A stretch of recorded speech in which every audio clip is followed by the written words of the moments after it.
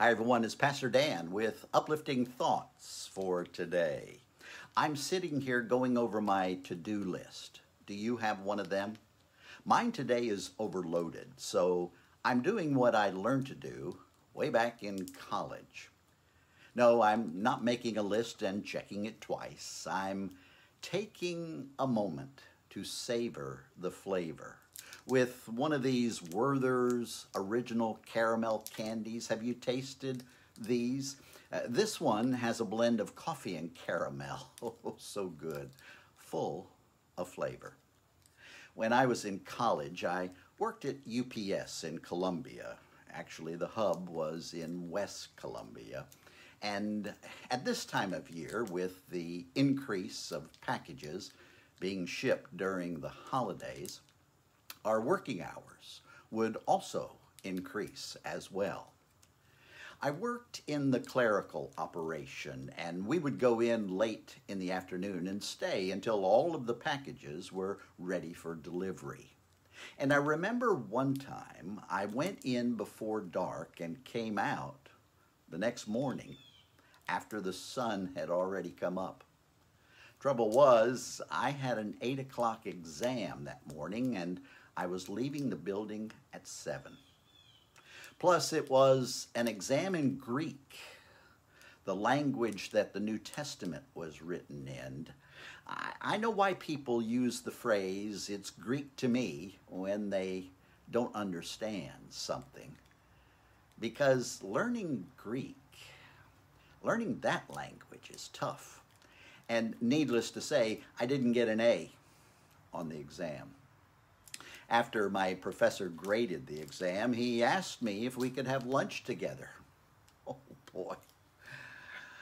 I knew I was in for a tongue thrashing, a lecture on how to study more and how to manage my time better. And it was a beautiful day, that fall day in South Carolina, and we were sitting out in the sunshine, enjoying uh, the fresh air. And I remember he took a bite out of a juicy apple and with a smile on his face, he told me how much he loved apples this time of the year. He said, I always take time to savor the flavor, especially, he said, when I've got too much to do on my to do list.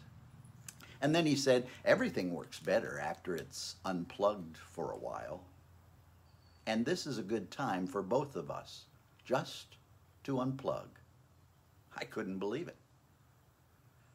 There was no lecture, no shaming, and it wasn't what I expected from a professor after failing his exam. He simply shared with me a couple of verses from the Gospel of Mark, chapter 2, verses 27 and 28. It says, The Sabbath was made for the needs of human beings and not the other way around. So the Son of Man is Lord even over the Sabbath. I knew those verses, but it's what he explained to me that changed the way I looked at life from then on. He said there are a lot of things in life we have no control over, like my work hours the night before my Greek exam. But he said, when we rest, even just a part of the day, it's a Sabbath rest, just like we're doing at lunch, savoring the flavor.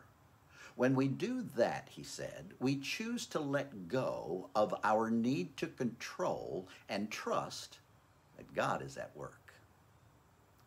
I learned a simple lesson that day just by taking time to savor the flavor. I still need to remind myself of those words of wisdom after all these years. It's an important lesson. So today, before you work on your to do list, take time to unplug and savor the flavor and let go of your need to control, trusting that God is at work in your life today.